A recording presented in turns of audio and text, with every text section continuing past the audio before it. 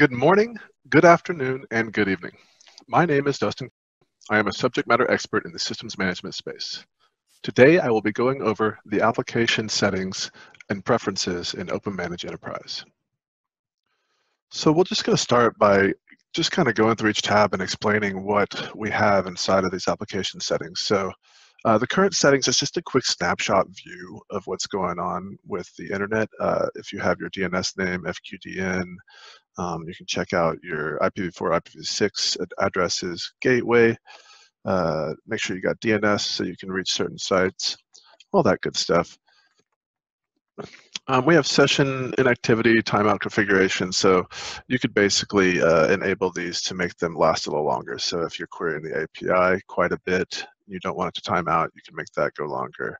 Uh, if your web interface, if you're in there a lot and it keeps timing out on you, same idea, you can up those.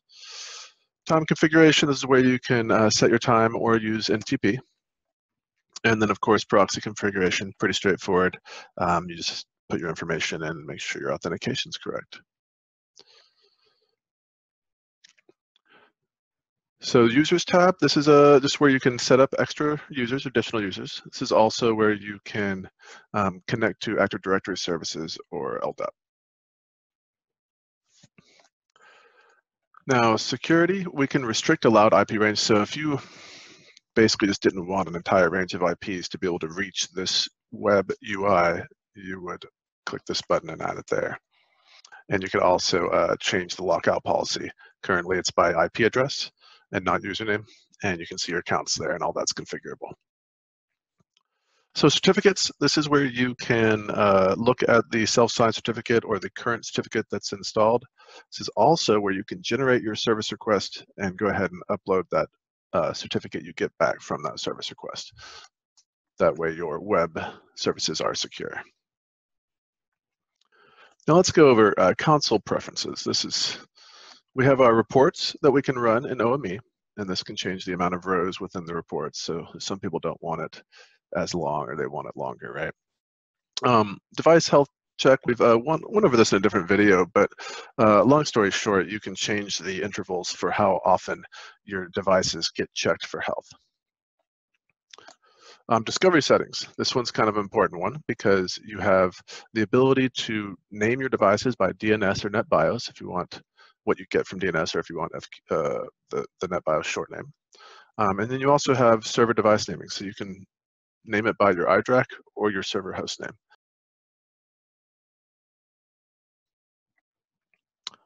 SMB settings. So this is pretty important with the uh, older iDRAC versions. Normally we have uh, V1 disabled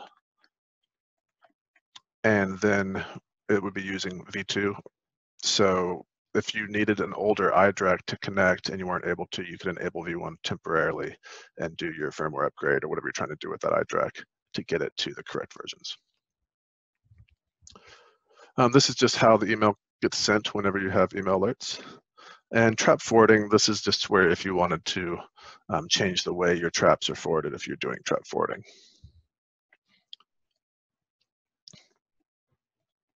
Alert display setting. So you can show all alerts acknowledge or, uh, un or unacknowledged.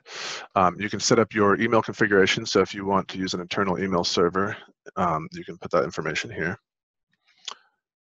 and then syslog as well. You could put syslog information. We went in SNMP on another uh, video, but this is where you would do SNMP forwarding.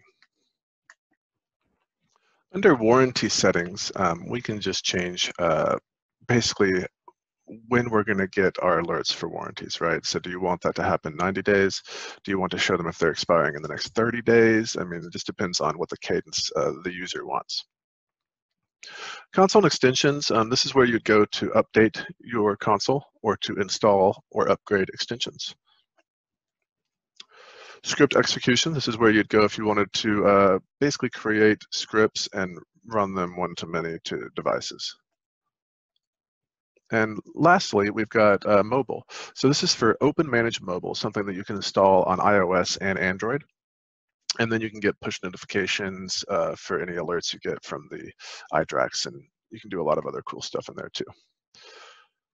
So that's really all there is to the application settings and preferences in OpenManage Enterprise. Um, thank you and have a wonderful day.